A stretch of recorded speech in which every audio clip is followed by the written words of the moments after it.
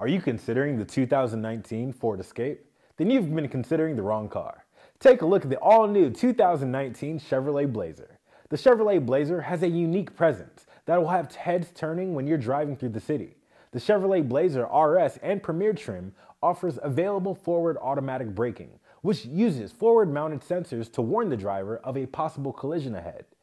If for whatever reason the driver does not react, the system will determine if a collision is imminent and automatically apply the brakes at full force in order to reduce the impact of the crash or avoid it altogether.